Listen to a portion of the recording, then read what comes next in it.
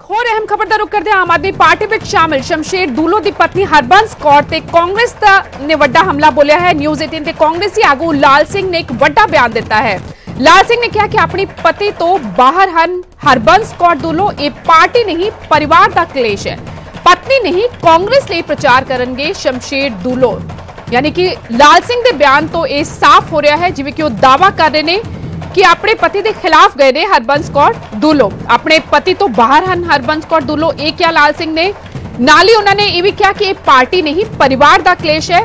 ਦਾਵਾ ਕੀਤਾ ਲਾਲ ਸਿੰਘ ਨੇ ਕਿ ਆਪਣੀ ਪਤਨੀ ਨਹੀਂ, ਸਗੋਂ ਕਾਂਗਰਸ ਲਈ ਪ੍ਰਚਾਰ ਕਰਨਗੇ ਸ਼ਮਸ਼ੇਰ ਦੁੱਲੋ ਤੋਂ। ਅੰਦਾਜ਼ ਕਿ ਆਮ ਆਦਮੀ ਪਾਰਟੀ ਵਿੱਚ ਸ਼ਾਮਿਲ ਹੋਏ ਸਨ।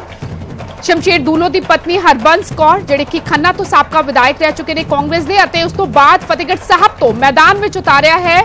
ਆਮ ਆਦਮੀ ਪਾਰਟੀ ਨੇ ਹਰਬੰਸ ਕੌਰ ਨੂੰ ਹੁਣ ਕਾਂਗਰਸ ਨੇ ਵੱਡਾ ਹਮਲਾ ਕੀਤਾ ਹੈ। ਸ਼ਮਸ਼ੇਰ ਦੂਲੋ ਦੀ ਪਤਨੀ ਤੇ ਲਾਲ ਸਿੰਘ ਜਿਹੜੇ ਕਿ ਕਾਂਗਰਸ ਦੇ ਸੀਨੀਅਰ ਆਗੂ ਹੈ ਉਹਨਾਂ ਦਾ ਦਾਵਾ ਹੈ ਕਿ ਇਹ ਪਾਰਟੀ ਨਹੀਂ, ਪਰਿਵਾਰ ਦਾ ਕਲੇਸ਼ ਹੈ ਅਤੇ ਪਤੀ, ਪਤਨੀ ਨਹੀਂ, ਕਾਂਗਰਸ ਲਈ ਪ੍ਰਚਾਰ ਕਰਨਗੇ ਸ਼ਮਸ਼ੇਰ ਦੂਲੋ। ਨਾਲ ਹੀ ਉਹਨਾਂ ਨੇ ਇਹ ਵੀ ਕਿਹਾ ਕਿ ਆਪਣੇ ਪਤੀ ਤੋਂ ਬਾਹਰ ਹਨ ਹਰਬੰਸ ਕੌਰ ਦੂਲੋ।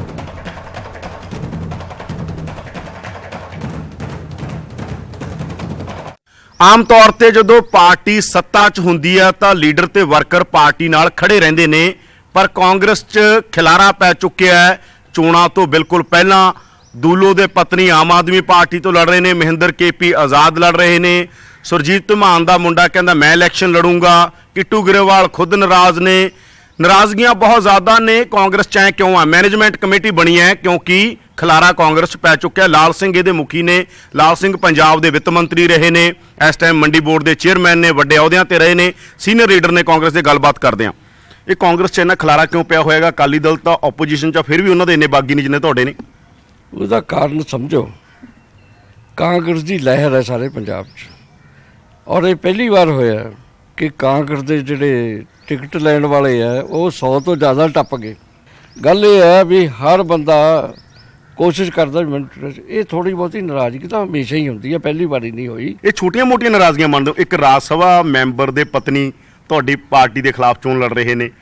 ਇੱਕ ਮਹਿੰਦਰ ਕੇਪੀ ਨੇ ਪੁਰਾਣੇ ਲੀਡਰ ਤੁਹਾਡੀ ਪਾਰਟੀ ਦੇ ਛੋਟੀਆਂ-ਮੋਟੀਆਂ ਨਾਰਾਜ਼ਗੀਆਂ ਗਿਣਦੇ ਇਹਨਾਂ ਨੂੰ। ਮੇਰੀ ਗੱਲ ਸਮਝੋ ਇਹ ਸਾਰੇ ਸੂਝਵਾਨ ਲੀਡਰ ਹਨ ਸੈਂਸੀਬਲ ਲੀਡਰ ਹਨ ਔਰ ਇਹ ਨਾਰਾਜ਼ਗੀ ਤੋਂ ਬਾਅਦ ਸਾਰੇ ਹੀ ਕਾਂਗਰਸ ਨਾਲ ਚੱਲਣਗੇ ਮੇਰੀ ਗੱਲ ਮੋਟੇ ਤੌਰ ਤੇ ਸਮਝ ਲਓ। ਇਹ ਸਾਰੇ ਸਤਿਕਾਰਯੋਗ ਹੈ ਸੂਝਵਾਨ ਮੈਂ ਇਹਨਾਂ ਨੂੰ ਪਰਸਨਲ ਤੌਰ ਤੇ ਜਾਣਦਾ ਇਹਨਾਂ ਨੇ ਹਮੇਸ਼ਾ ਹੀ ਕਾਂਗਰਸ ਨਾਲ ਖੜੇ ਅੱਗੇ ਨੂੰ ਵੀ ਕੱਢਣਗੇ ਜਿੱਥੇ ਤੱਕ ਦੁੱਲੋ ਸਾਹਿਬ ਦਾ ਤੁਸੀਂ ਸਵਾਲ ਕੀਤਾ ਇਹਨਾਂ ਦੇ ਫੈਮਿਲੀ ਦੇ ਰਿਲੇਸ਼ਨ ਮੈਨੂੰ ਪਰਸਨਲੀ ਤੌਰ ਤੇ ਪਤਾ ਕੋਈ ਬਹੁਤੇ ਚੰਗੇ ਨਹੀਂ ਰਹੇ ਕਦੇ ਵੀ ਪਰ ਸ਼ੁਰੂ ਤੋਂ ਹੀ। ਤੇ ਹੁਣ ਵੀ ਮੇਰੀ ਦੁੱਲੋ ਸਾਹਿਬ ਨਾਲ ਗੱਲ ਹੋਈ ਸੀ ਪਰਸਨਲੀ ਉਹ ਕਹਿੰਦਾ ਮੈਂ 15 ਦਿਨ ਤੋਂ ਨਹੀਂ ਉਹਨੂੰ ਮਿਲਿਆ ਨਾ ਮੇਰੇ 15 ਦਿਨ ਤੋਂ ਘਰ ਆਈ ਹੈ। ਇਸ ਕਰਕੇ ਮੈਂ ਮਹਿਸੂਸ ਕਰਦਾ ਵੀ ਉਹ ਜਿੱਥੇ ਮਰਜ਼ੀ ਲੜੇ ਜਿੱਥੇ ਮਰਜ਼ੀ ਜਾਵੇ ਕਾਂਗਰਸ ਪਾਰਟੀ ਨਾਲ ਸ਼ਮਸ਼ੇਰ ਸਿੰਘ ਦੁੱਲੋ ਪੱਕੇ ਤਰ੍ਹਾਂ ਖੜੇਗਾ। ਇਸ ਤਰ੍ਹਾਂ ਹੀ ਕੇਪੀ ਸਾਹਿਬ ਦਾ ਸਵਾਲ ਹੈ। ਦੁੱਲੋ ਦੀ ਪਤਨੀ ਤੁਹਾਨੂੰ ਲੱਗਦਾ ਕਿ ਫਿਰ ਇਹ ਇਹ ਲੜਾਈ ਘਰ ਦੀ ਲੜਾਈ ਕਰਕੇ ਮੰਨਿਆ ਜਾਵੇ? ਘਰ ਦੀ ਲੜਾਈ ਕਰਕੇ ਪਾਰਟੀ ਦੀ ਲੜਾਈ ਨਹੀਂ। ਘਰ ਦੀ ਲੜਾਈ ਕਰਕੇ ਕੋਈ ਹੋਰ ਲੜ ਰਹੇ ਨੇ? ਪਾਰਟੀ ਦੀ ਲੜਾਈ ਨਹੀਂ ਸ਼ੁਰੂ ਤੋਂ ਹੀ ਇਸ ਪਰਿਵਾਰ 'ਚ ਇਸ ਤਰ੍ਹਾਂ ਦੀ ਗੱਲ ਰਹੀ ਹੈ। ਪਹਿਲਾਂ ਵੀ ਇਸ ਤਰ੍ਹਾਂ ਰਿਹਾ ਮੈਂ ਮਹਿਸੂਸ ਕਰਦਾ ਕਿ ਦੁੱਲੋ ਸਾਹਿਬ ਪੁਰਾਣੇ ਕਾਂਗਰਸ ਦੇ ਲੀਡਰ ਹੈ ਸਤਿਕਾਰਯੋਗ ਹੈ। ਉਹਨਾਂ ਨੂੰ ਪਤਾ ਹੈ ਇਸ਼ੂ ਅੱਜ ਇਹ ਨਹੀਂ ਵੀ ਟਿਕਟ ਕਿਹਨੂੰ ਮਿਲ ਗਈ, ਕਿਹਨੂੰ ਨਹੀਂ ਮਿਲੀ, ਇਸ ਵੇਲੇ ਦੇਸ਼ ਦਾ ਮਸਲਾ ਹੈ। ਇਸ ਵੇਲੇ ਕਨਸਟੀਟਿਊਸ਼ਨ ਟੁੱਟਣ ਨੂੰ ਜਾ ਰਿਹਾ, ਦੇਸ਼ ਟੁੱਟਣ ਨੂੰ ਜਾ ਰਿਹਾ, ਜਿਹੜੀਆਂ ਫਿਰਕੂ ਤਾਕਤਾਂ ਦੇਸ਼ ਨੂੰ ਵੰਡਣਾ ਚਾਹੁੰਦੀਆਂ ਉਸ ਦੀ ਲੜਾਈ ਹੈ, ਬੜੀ ਵੱਡੀ ਲੜਾਈ ਹੈ, ਇਹ ਸੂਝਵਾਨ ਲੀਡਰ ਇਸ ਇਸ਼ੂ ਨੂੰ ਲੈ ਕੇ ਕਾਂਗਰਸ ਦੇ ਨਾਲ ਚਟਾਨ ਦੀ ਤਰ੍ਹਾਂ ਖੜਨਗੇ ਮੈਨੂੰ ਇਸ ਗੱਲ ਦਾ ਭਰੋਸਾ। ਪਰ ਤੁਸੀਂ ਮਨਾ ਕਿਉਂ ਨਹੀਂ ਸਕੇ? ਦੁੱਲੋ ਦੀ ਵਾਈਫ ਤੁਹਾਡੀ ਪਾਰਟੀ ਤੋਂ ਐਮਐਲਏ ਵੀ ਰਹੇ ਨੇ ਪਾਰਲੀਮੈਂਟਰੀ ਸੈਕਟਰੀ ਵੀ ਰਹੇ ਨੇ ਕੈਪਟਨ ਦੀ ਸਰਕਾਰ 'ਚ। ਕਿਉਂ ਨਹੀਂ ਮਨਾ ਸਕੇ? ਤੁਹਾਨੂੰ ਨੁਕਸਾਨ ਤਾਂ ਕਰਨਗੇ ਨਾ ਹੁਣ ਉਹ। ਆਪ ਤੋਂ। ਲੜਨਗੇ ਵੋਟਾਂ ਤਾਂ ਲੈ ਕੇ। ਜਾਣਗੇ ਜਿੱਤ ਵੀ ਸਕਦੇ ਨੇ। ਕੋਈ ਕੋਈ ਨਹੀਂ ਜਿੱਤ ਸਕਦਾ ਜਿੱਤਣ ਦਾ ਸਵਾਲ ਹੀ ਨਹੀਂ ਪੈਦਾ ਹੁੰਦਾ ਮੈਂ ਜਾਣਦਾ।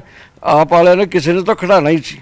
ਉਹ ਉਹਨਾਂ ਨੂੰ ਕੋਈ ਬੰਦੇ ਨਹੀਂ ਮਿਲਦੇ ਜਿੱਦੀਆਂ ਦੂਜੀਆਂ ਪਾਰਟੀਆਂ ਉਹਨਾਂ ਕੋਲ ਬੰਦੇ ਹੀ ਹੈ ਨਹੀਂ। ਅੱਗੇ ਵਧਿਆ ਸੰਗਰੂਰ ਤੋਂ ਕਾਂਗਰਸ ਦੇ ਉਮੀਦਵਾਰ ਕੇਵਲ ਸਿੰਘ ਢਿੱਲੋਂ ਨੇ ਕੈਬਨਿਟ ਮੰਤਰੀ ਵਿਜੇਂਦਰ ਸਿੰਘਲਾ ਨਾਲ ਮੁਲਾਕਾਤ ਕੀਤੀ। ਚਰਚੇ ਸਨ ਕਿ ਸਿੰਘਲਾ ਵੀ ਲੋਕ ਸਭਾ ਟਿਕਟ ਨਾ ਮਿਲਣ ਤੋਂ ਨਾਰਾਜ਼ ਹਨ। ਕੇਵਲ ਢਿੱਲੋਂ ਦੇ ਰੋਡ ਸ਼ੋਅ ਵਿੱਚ ਨਾ ਤਾਂ ਸਿੰਘਲਾ ਨਜ਼ਰ ਆਏ ਸਨ ਅਤੇ ਨਾ ਹੀ ਉਹਨਾਂ ਦੇ ਹਮਾਇਤੀ ਵਿਖੇ, ਜਿਸ ਨੂੰ ਲੈ ਕੇ ਪਾਰਟੀ ਨਾਲ ਨਾਰਾਜ਼ਗੀ ਦੀ ਗੱਲ ਕਹੀ ਜਾ ਰਹੀ ਸੀ ਅਤੇ ਇਸੇ ਨਾਰਾਜ਼ਗੀ ਨੂੰ ਦੂਰ ਕਰਨ ਲਈ ਇਹ ਮੁਲਾਕਾਤ ਕੀਤੀ ਗਈ। ਹਾਲਾਂਕਿ ਮੁਲਾਕਾਤ ਤੋਂ ਬਾਅਦ ਦੋਵਾਂ ਆਗੂਆਂ ਨੇ ਇਕਜੁੱਟਤਾ ਵਿਖਾਉਂਦਿਆਂ ਨਾਰਾਜ਼ਗੀ ਦੀਆਂ ਖਬਰਾਂ ਨੂੰ ਖਾਰਿਜ ਕੀਤਾ।